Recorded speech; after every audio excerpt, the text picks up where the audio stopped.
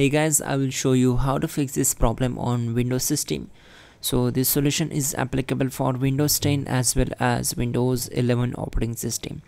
You need to just follow my screen and we will fix this issue together. So first of all we need to just uh, go to search bar and type your task manager. And here it is click on it. Once we are here we need to click on run new task you will get this option here on the top side and middle of this area. Then click on browse button. Now go to this PC and then open C drive. Now open Windows folder. You will get this folder in the last. Just scroll down and open it. And again just scroll down little bit and you will get this system32 folder so double click on it to open it. And again keep scrolling down. Also in this system32 folder you just select any uh, folder and press C. Keep pressing C until you get uh, this file cmd.exe just select it and click on open. Now check this box. So it will create this task with administrative privileges and click on ok once we are here we need to close the background windows and we will focus on this window. So we have to execute some commands. So type all these commands carefully and hit enter to execute them. First of all type in netsh winsock reset and hit enter to execute this command. So we need to restart the computer in order to complete the reset. But before that we will execute some methods and commands also. So type in netsh int ip reset space reset log dot txt and hit enter.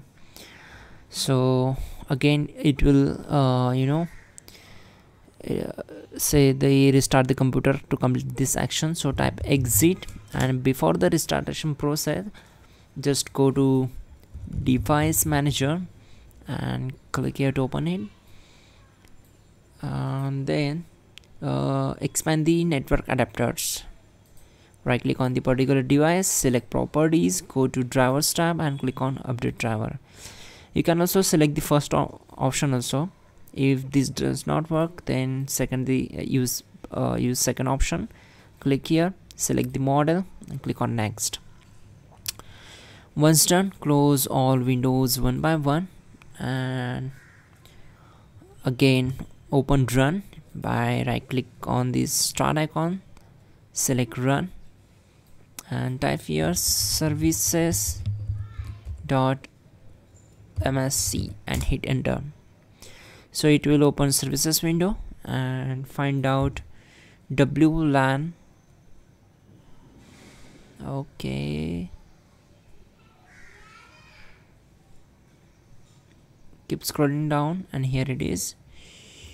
Uh, wlan autoconfig. So right click on it uh, select properties and make sure if we have to select the startup type as automatic then click on apply start the process and click on ok again do the same process for the windows update. Uh, so here it is. Right click on it select properties set startup type as automatic and start the process. Now restart the system. You can also check out the pin command to fix this issue quickly and effectively. That will be a great option to fix this issue and don't forget to like the video. Please do subscribe the channel